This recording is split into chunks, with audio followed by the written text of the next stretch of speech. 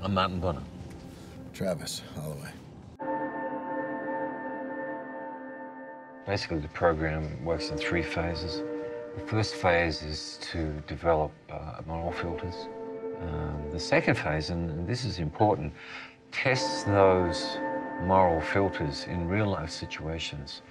The third phase is re-entry into society, where you work with your mentor to make sure that you don't end up back here.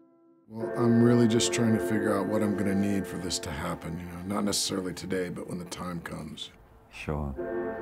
I'm trying to restart my life, and I feel like if I don't get on the train at the get-go, then I'm gonna miss it. I, I know where you're coming from.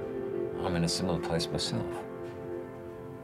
I had what you call a, a crisis of faith a few years ago. What happened?